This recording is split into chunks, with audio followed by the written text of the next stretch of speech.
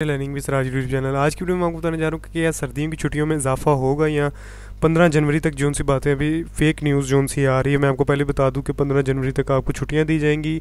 इसके हवाले से क्या अभी तक नोटिफिकेशन जारी हुआ है कि नहीं हुआ इससे पहले अगर आपने मेरे चैनल को सब्सक्राइब नहीं किया तो सब्सक्राइब लाजमी कर लें बेल आइकन ज़रूर प्रेस कर लें ताकि इस तरह की वीडियो नोटिफिकेशन आपको बर वक्त मिलता रहे। जी तो स्टूडेंट्स आपको मैं बताता चलूँ कि पंद्रह जनवरी तक अभी तक तो कोई चांस नहीं है कि ऐसा कोई नोटिफिकेशन भी अभी तक नहीं जारी हुआ।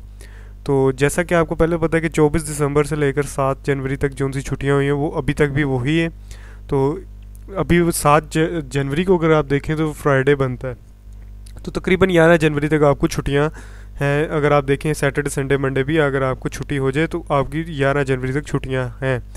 पॉसिबिलिटी ये तब ही है जब आपकी विंटर वेकेशंस तब बढ़ सकती हैं। अगर सर्दियों की सर्दियों की शिद्दत में ज़रा कमी अगर आई तो फिर नहीं बढ़ेंगी? अगर कमी ना आई तो फिर इसका मतलब यह है कि आपकी विंटरफिकेशन में इजाफा भी किया जा सकता है। ओमिक्रोन के अगर केसेस रिपोर्ट हो रहे हैं, जैसा कि आप देख रहे हैं, कराची में भी अब तकरीबन 10 के करीब केसेस रिपोर्ट हो चुके हैं। तो अगर ये अगर पूरे मुल्क में अगर इसका फैलाव हो गया तो एनसीओसी को मज़ीद कोई ऐसे इकदाम और ऐसे जो उनसे फ़ैसले लेने पड़ेंगे, जो सख्त फ़ैसले हैं, वो उनमें तलीमी दारों को बंदिश भी सामने जेर गौर लाया जाएगा। तो आपको मज़ीद विंटर में इजाफा कर दिया जाएगा।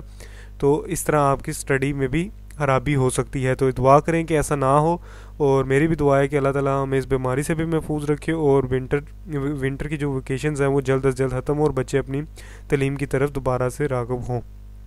क्योंकि अगर आप देखें, पिछले साल भी ऐसा ही हुआ था क्योंकि विंटर वेकेशन के साथ साथ आपको दूसरी छुट्टियाँ भी साथ दे दी गई थी, जिसके बाद काफ़ी ज़्यादा बच्चों का जो उनसे तलीमी नुकसान हुआ था और उसके बाद बच्चों ने जो उनसा इम्तहान की तैयारी वैसी नहीं थी, फिर स्मार्ट सिलेबस मुतारफ़ कराया गया, उसके बाद तीन सब्जेक्ट के पेपर लिए गए।